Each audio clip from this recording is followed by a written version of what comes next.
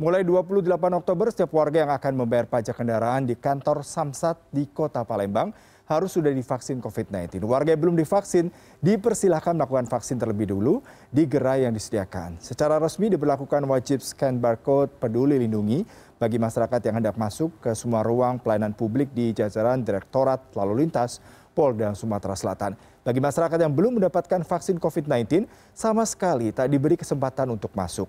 Namun demikian, masyarakat yang belum divaksin dipersilahkan mendatangi gerai vaksin presisi yang disediakan di lokasi dan di gerai itu warga bisa mendapatkan vaksin COVID-19 yang pertama maupun yang kedua.